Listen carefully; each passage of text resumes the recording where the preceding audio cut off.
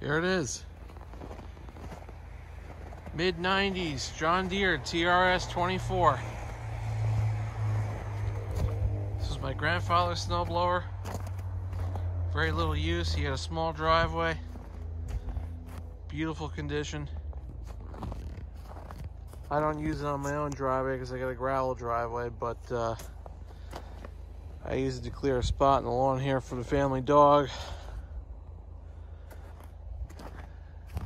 Lot better than shoveling. I just keep the skid shoes adjusted up high so the blade doesn't dig up the grass. Leaves a little bit on there, but it's taken down for him. Hit the occasional frozen poopy and watch it go flying. And now I'm gonna make a path going down to the chicken coop.